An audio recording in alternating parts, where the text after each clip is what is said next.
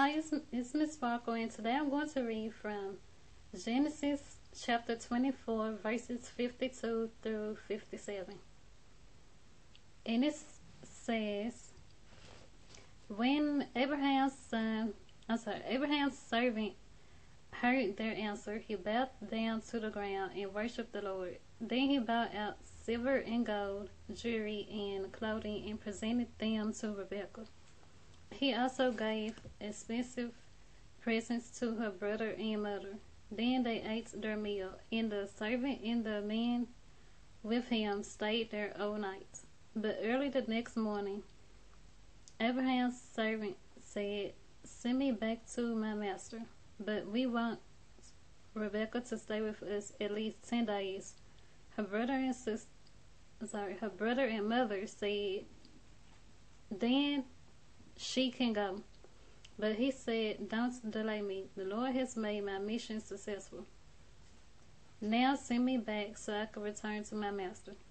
Well, they said, We'll call Rebekah and ask her what she thinks. So they called Rebekah. Are you willing to go with this man? They asked her. And she replied, Yes, I will go.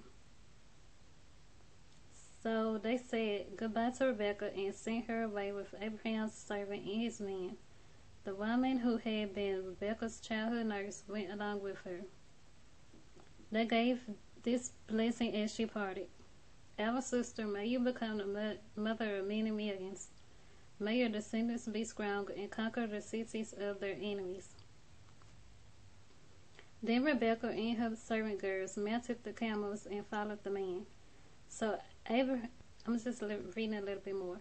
So Abraham's servant took Rebekah and went on his way. Meanwhile, Isaac, whose home was in the, don't know the word, skip it, had returned from Beer-lahai one evening as he was walking and meditating in the fields. He looked up and saw the camels coming. When Abraham looked up and saw Isaac, she quickly dismounted from her camel. Who is that man walking through the fields to meet us? she asked the servant. And he replied, It is my master. So Rebekah covered her face with her veil. Then the servant took, told Isaac everything he had done. And that's all I want to read in this video.